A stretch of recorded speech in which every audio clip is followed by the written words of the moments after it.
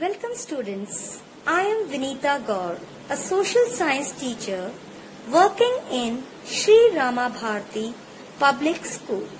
In this video, we will learn about continents and oceans on the surface of the earth and the globe.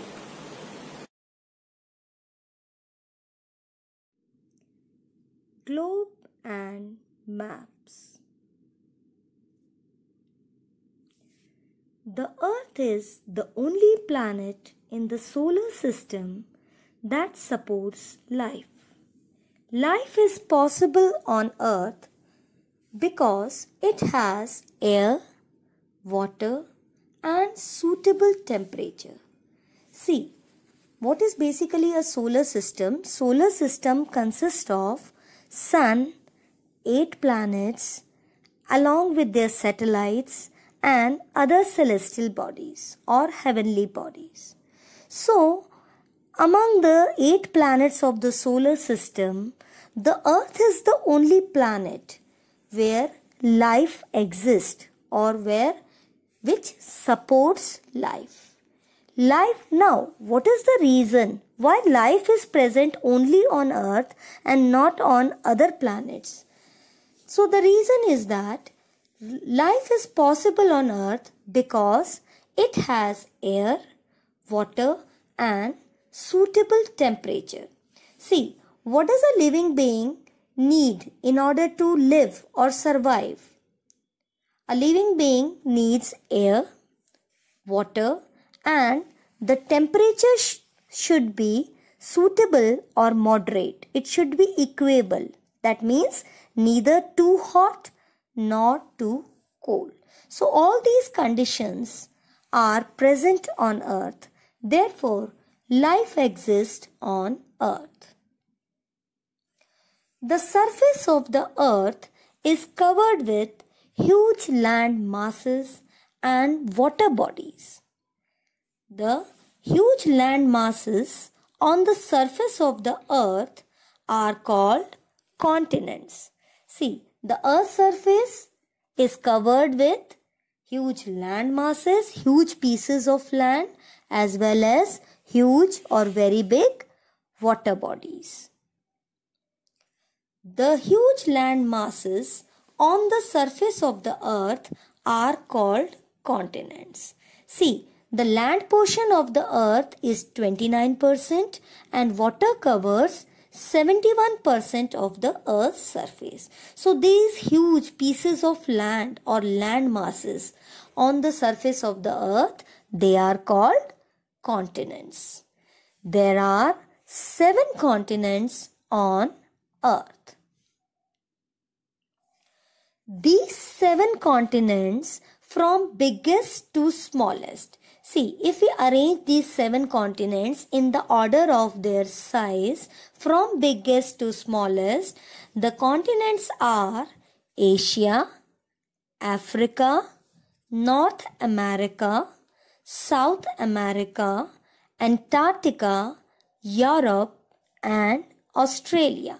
So, Asia is the largest continent in the world and India is a part of Asia or India lies in Asia continent.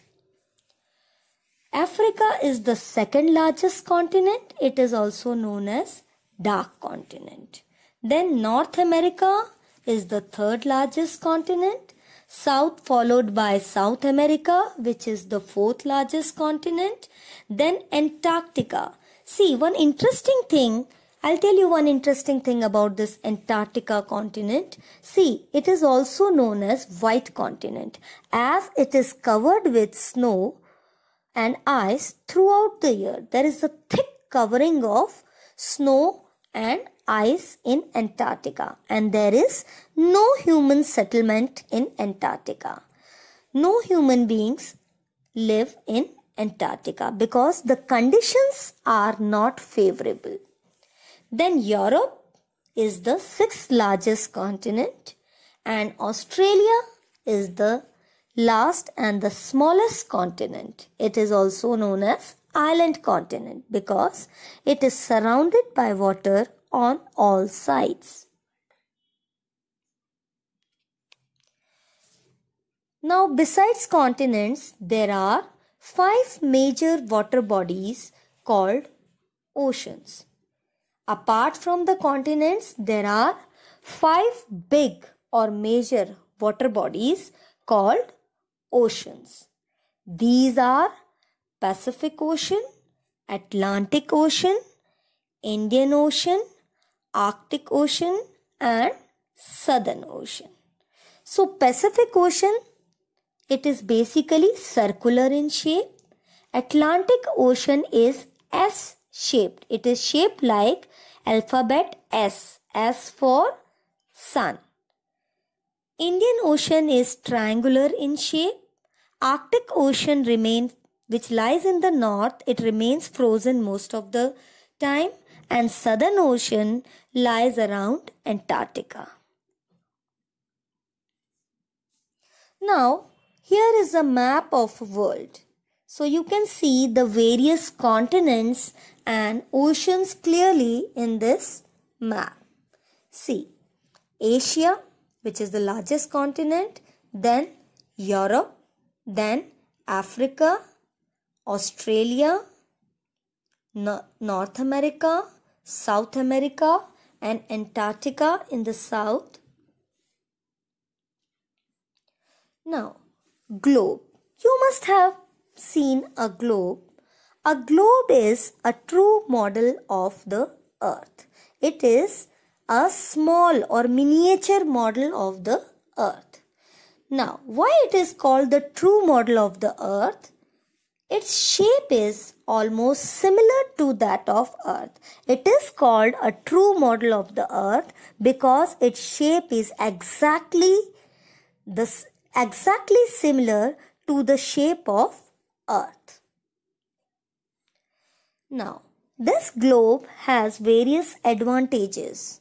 It displays continents, countries, oceans, rivers, etc. in the same position as they are located on the earth. See, globe shows various countries, continents, oceans, rivers in the exactly same manner or in exactly same shape and size as they are present on the earth's surface. See, when we look at the world map, then what happens? The map, the shape of the various continents, ocean, river, countries is not exactly uh, the same size and shape. It differs. Why? Because we draw map on a flat surface whereas the surface of the earth is spherical. So the globe is more accurate than map. It represents the countries, continents and ocean in their correct shape and size as they are present on the earth. Now, globe is quite useful to us and it helps us in the study of earth's surface. So, glo globe is very useful. It helps in the study of Earth's surface.